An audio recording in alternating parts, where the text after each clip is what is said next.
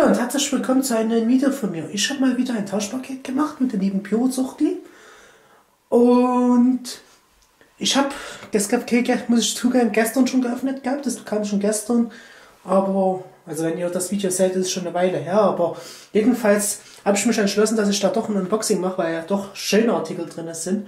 Und was er mir alles geschickt hat, da schauen wir jetzt mal gemeinsam rein. Es fängt an mit den Shooting Star von Meko. Sehr schönes Bombenrohr, Knisterstern-Bombenrohr mit altem Warnzeichen noch. Sehr, sehr schön. Dann eine ganze Packung von den na, geht's auf, Junior Chicos von Weco, 90er Jahre, Explosionslogo, sehr, sehr schön. Und anhand des Zettels konnte ich mal her, äh, nachschauen, von welchem Jahr das sind. Und zwar sind die von 1996. 1996. Also ein Jahr jünger wie sie ich. Sehr, sehr schön. Dann geht es hier weiter mit der Idena. Was? Ist Idena Stabsonne. Auch sehr, sehr schön. Aktuelle Sonne. Habe ich aber so noch nie gesehen von Idena. Sieht aber sehr gut aus von der Verarbeitung her. Bin ich echt mal gespannt. Richtig schön. Kann man echt mal testen, das Teil. Dann geht es weiter mit Bengal bengalischen Fackeln von Weco, auch mit Explosionslogo. Sehr, sehr schön.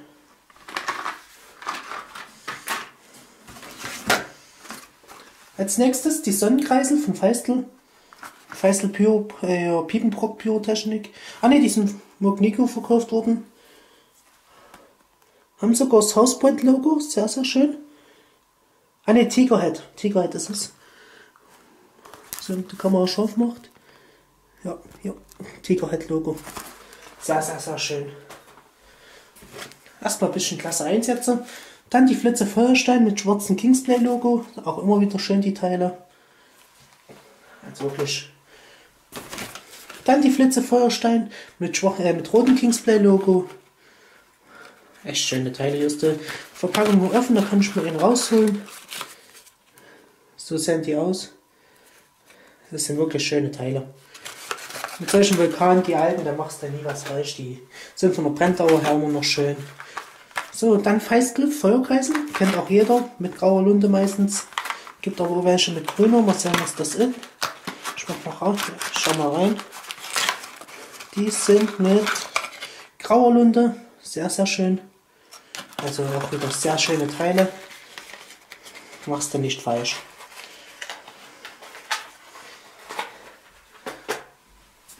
Jetzt weiter mit Klasse 1. Ich lasse mal ein bisschen Klasse 1. So heldenhaft.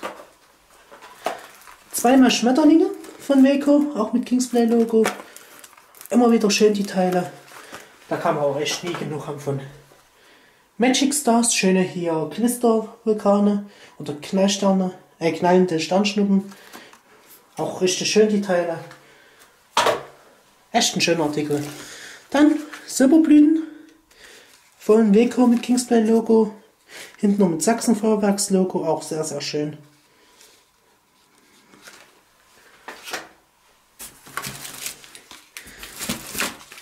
Dann Gold- und Silberregen und Goldregen von Weko jeweils.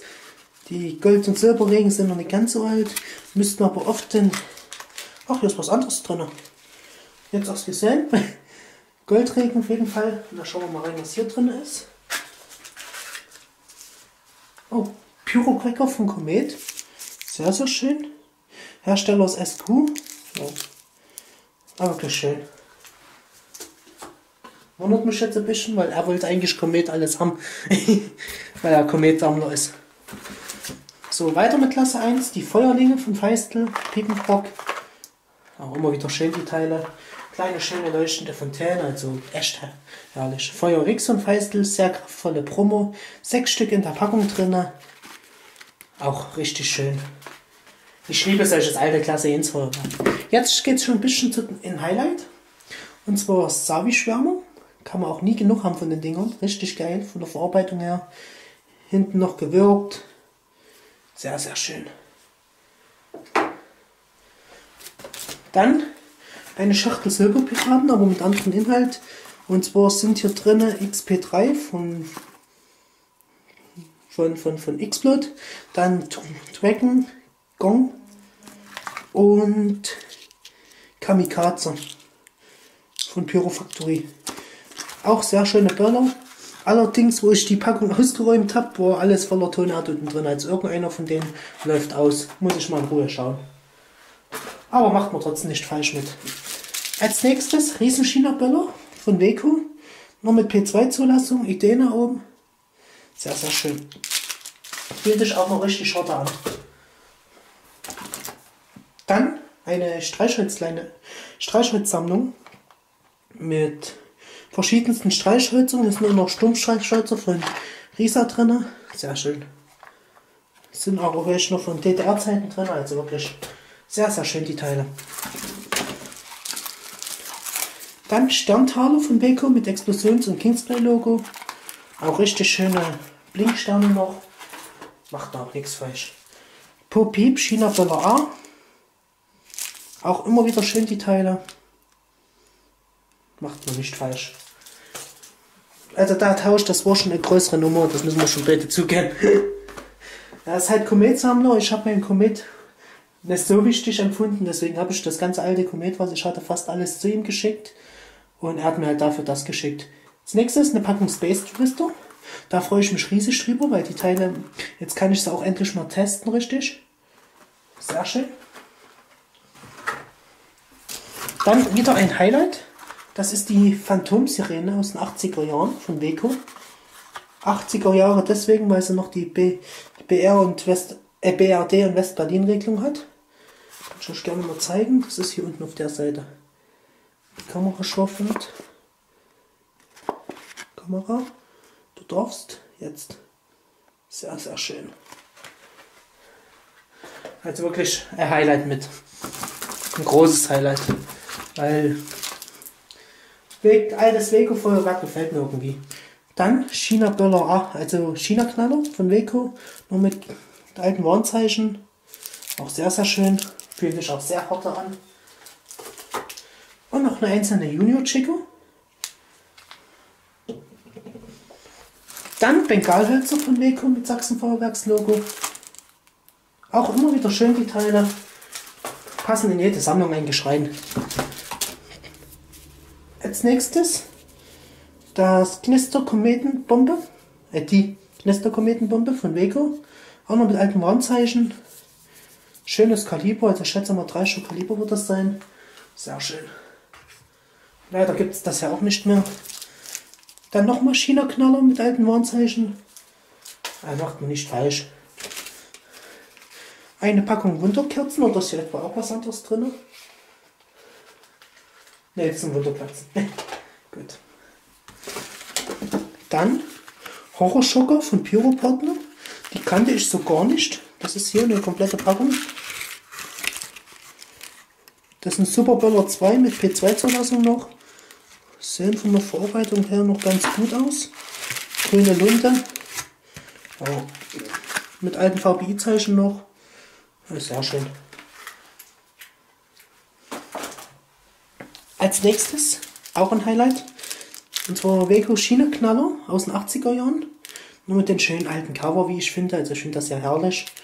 Und wenn man an der Seite, ich weiß nicht, ob es auf der Kamera sieht, hier sieht man es ein bisschen noch mit grauer Lunte. Also sehr, sehr schön.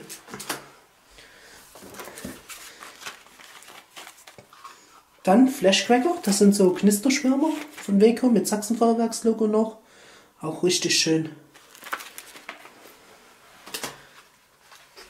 Dann Silberpöbel von Weco. Auch hinten noch mit Kingsbell Logo, also aus der Übergangszeit ist das. Also auch wirklich alte VBI-Zeichen war auch noch drauf. Dann auch sehr schöne Wirbelwind, finde ich. Das sind von Feistel, die Swiller. Das sind, also wie dicke Brummer von der Art her, ist eigentlich das gleiche. Sollen aber richtig geil sein, allerdings sind die mittlerweile relativ teuer geworden. Also auf Ebay wird zum Beispiel so eine 6er Packung mit 6, 7 Euro gehandelt. Aber es sind halt wirklich edel. Dann, das finde ich witzig, Pyroland Wunderkerzen, weil genau so eine Packung habe ich ihm auch reingetan. Was der noch da lachen wird. So, als nächstes geht es weiter mit den China Dollar A von Feistel. Auch sehr, sehr schön mit den Tannwald-Cover. Ist wirklich herrlich, herrlich, herrlich, die Teile. Das ist wirklich sowas, da freut man sich, wenn man sowas in Händen hält. Dann die Knattersirene von Mogniko. Kannte ich so gar nicht. Fand ich sehr schön. Sein, ob die Kamera scharf wird. Jetzt. Sehr, sehr schön. Ich liebe ja solches Zeug. Dann eine Phantomsirene von Weco aus den 90er Jahren. Ja, 90er Jahre. Auch immer wieder schön so ein Teil. Ich finde dieses Design und noch eine Luftikus-Fontäne, auch von Weco, auch 90er Jahre. Als nächstes Gigant kubischer Kanonschlag von Weco mit Sachsenfahrwerkslogo und noch hergestellt im Freiberg müsste das sein. Da oben steht FR. Als nächstes eine Packung Knistertoni. Das sind Knatter, eher Knallkits. Eigentlich, also ja, Starkits, Starkits umgelabelt. Finde ich aber richtig geil. Knistertoni. Der Toni hat's drauf. so, jetzt Pyroland-Sticker, immer wieder gebrauchbar. Auch ein schöner Artikel, alte Knallapsen von Weco mit Explosionslogo. Auch immer wieder zu gebrauchen. Fritze Feuerspucker von Piepenbrock Feistel. Ja, diesmal ist es auch wirklich Feistel, wenn ich sage. auch sehr, sehr schöne Vulkane, wie ich finde. Machen echt Laune. Und vor die Schachtel im Top-Zustand. Dann als nächstes die Feuereier von Weco. Leider ja auch bloß mit P2 zu, äh, P1 Zulassung. Richtig geil. Also, wenn du die jemanden hinstellst, vielleicht versucht einer die zum Frühstück zu essen. hey, Spaß beiseite, aber ich finde sowas mega. Also vom Design her ist das top. Bekommt auf jeden Fall bei mir auch einen Herrenplatz. So, noch was Spezielles und zwar der Sonnenvogel von Weco. Auch noch mit alten Warnzeichen. Richtig geil.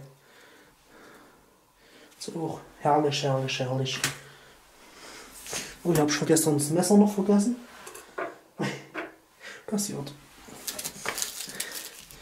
Dann China-Knaller, von, auch wieder von Weco mit alten Warnzeichen. Kennen wir ja mittlerweile. Ist ja schon die dritte Packung. Aber von denen kann man auch nicht genug haben. Dann Weco Corsair, die 1309er Bälle, also die Corsair Cracker. Auch richtig geil sind mir von einigen Leuten empfohlen worden, dass das richtig geile Reiber noch sein sollen. Deswegen bin ich auch froh, dass ich da mal eine Packung bekommen habe. Richtig geil. Jetzt geht es in das sehr hochwertige noch. Und zwar das Magic, Magic, Magic Infernali oder Synchronfeuerwerk von Weco mit vier Effekten. Auch noch mit alten Warnzeichen. Auch richtig geil. So. Ich bin schon beeilen, der Akku sind gleich alle. Als nächstes die Blizzard oder Wintergewitter. Auch vom Lego mit alten Warnzeichen. Sehr schön. Dann die Gigant von Velco, auch nur mit alten Warnzeichen. Zwei schöne Vulkane sind da drin. Dann eine Velco Exportrakete, auch immer wieder schön mit alten Warnzeichen noch.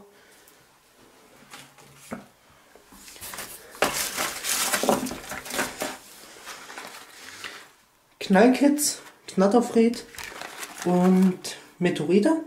Alles als drei Standardartikel, die wirklich in keiner Sammlung fehlen dürften. Dann noch ein Corsa Assault, also Corsa Blister, 80er Jahre, auch immer wieder sehr schön. Gut. Auch für jede Sammlung wirklich gut geeignet. Und zu guter Letzt sind hier noch Visitenkarten drin. Pyrokäse und nochmal Pyrokäse. Und dann noch von Silberhütte eine abgebrannte Pfeifpatrone. Ah, die ist schon abgebrannt, da kann man die sich gefahrenlos in der Vitrine stellen. Sehr, sehr schön. Ach ne, hier ist noch was. Und zwar die Silverwayne Fontäne von FKW Keller. Auch eine richtig schöne Fontäne. Und da hoffe ich, das Video hat euch gefallen. Bis zum nächsten Mal und macht's gut. Tschüss.